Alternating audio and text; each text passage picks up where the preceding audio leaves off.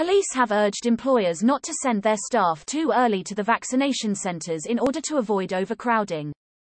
This comes after images and videos went viral on social media and WhatsApp of long queues and large crowds outside a vaccination center here. Dang Wangi OCPD Assistant Commissioner Mohamad Zainal Abdullah said employers were advised to only send their employees for vaccination according to their appointments.